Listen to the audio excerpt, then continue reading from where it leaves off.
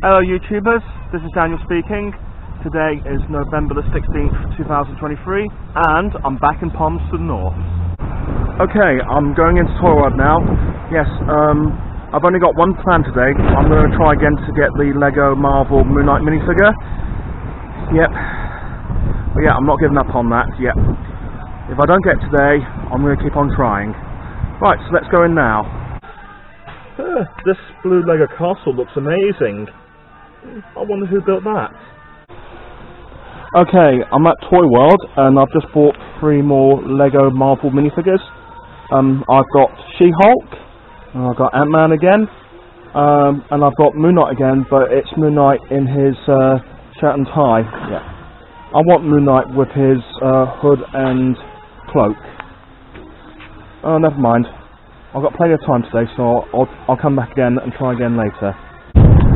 Okay, well that's it from Toy World. I'll be back again uh, later. And now I'm off to uh, the Salvation Army shop. Okay, it's Salvation Army shop time. Okay, I'm at the Salvation Army shop and there's no Lego once again. Okay, that's it from Salvation Army shop. Uh, a little later, I'll be going to the warehouse.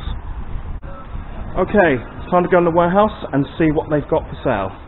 Okay, I'm at the warehouse. Um, the Warehouse has still got the Lego Star Wars Obi-Wan Kenobi versus Darth Vader playset for $80 and I've got some good news. Uh, I've now got this playset. My auntie and uncle Jack and Simon bought it for me on Saturday. Yeah, I'm glad because I've been after it for ages. And the Warehouse still has um, Lego Marvel minifigures for sale. Yeah, the usual price of $5. And the warehouse has got a Lego DREAMZzz Izzie and Bunchu uh, playset it costs $33. And the warehouse has still got the Lego Thor Love and Thunder Goat Boat set, uh, and it cost $90. Yeah, I still wish I had the uh, Lady Thor minifigure. Okay, that's it from the warehouse. Um, I'm going to the library next.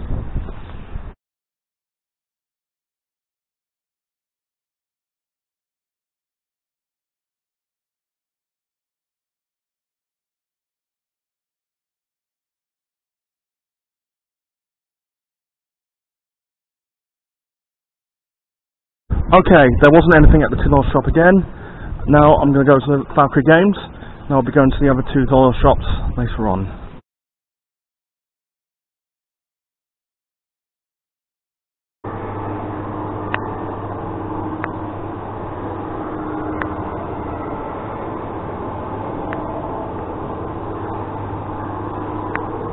Okay, now for a quick look around in Barras.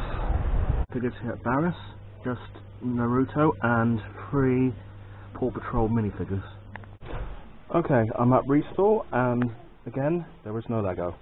Right, now I'm going over into the Dollar Plaza and see what they got. Well, there isn't any knockoff minifigures here at Dollar Plaza that I want. However, they do have this knockoff Lego Star Wars Rebel spaceship and it costs $37. Oh, this isn't my day, is it? And there's no knockoff minifigures here either at Hello Banana.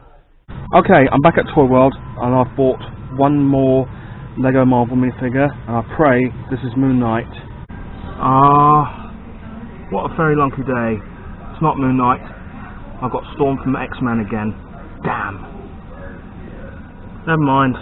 So I'm going to have to wait until next time now.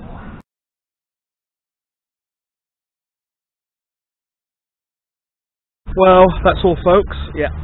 Thank you for watching uh, today's video.